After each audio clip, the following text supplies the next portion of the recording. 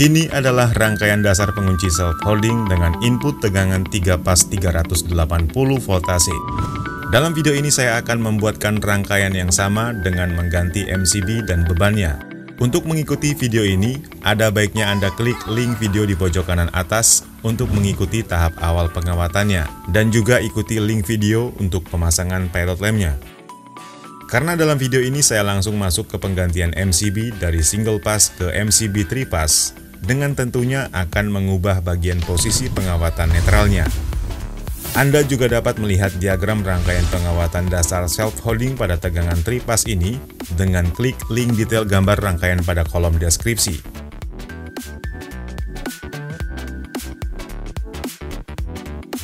Langsung saja saya buka MCB single pass, kemudian saya persiapkan penempatan MCB tripas.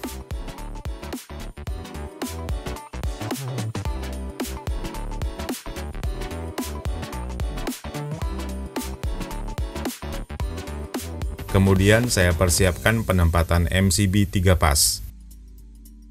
Lepas sambungan netral L1 kontektor ke terminal 98 NC relay.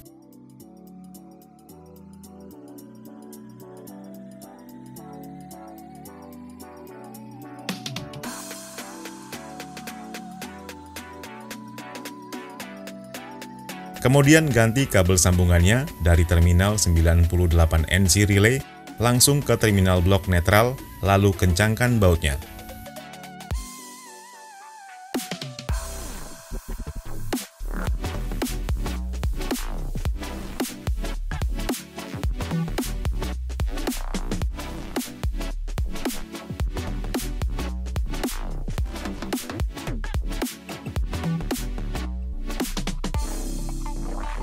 Hubungkan tiga kabel dari kontaktor ke MCB 3 pas.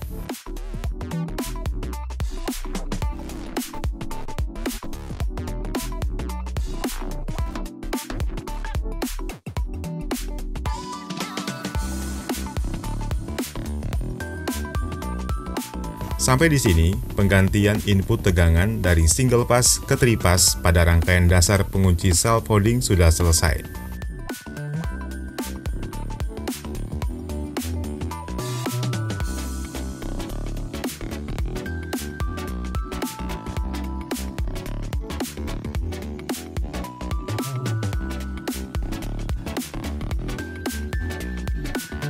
Hubungkan kabel motor listrik ke output T1 T2 dan T3 relay, lalu kencangkan bautnya.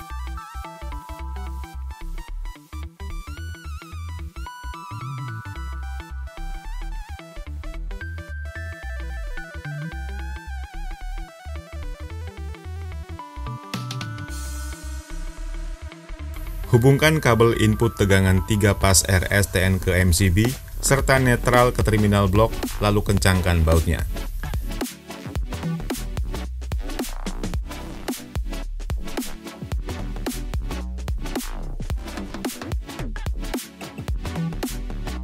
Mari kita lakukan pengetesan.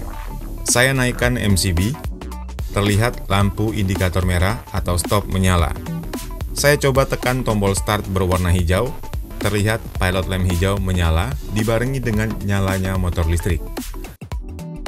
Kemudian saya tekan tombol merah dan terlihat pilot lamp merah menyala sebagai indikator padamnya motor listrik. Kemudian saya ulangi kembali tekan tombol hijau untuk pengetesan lampu emergensi saya coba simulasikan jika terjadi keadaan beban tidak normal. Maka relay akan trip. Terlihat lampu kuning menyala, dibarengi dengan nyalanya lampu merah sebagai tanda stopnya motor listrik. Saya coba tekan lagi tombol hijau dalam kondisi motor trip. Terlihat tombol tidak merespon, ini menandakan bahwa fungsi pada emergensi sudah benar jika terjadi trip pada suatu keadaan, Anda harus cek lebih lanjut motor listriknya. Jika semua sudah normal kembali, kita bisa tekan tombol biru atau reset pada relay untuk mengembalikan relay ke posisi normal. Oke demikian simulasi penggantian sumber input tegangan dari single pass ke tripass untuk rangkaian dasar pengunci self-holding. Semoga bermanfaat.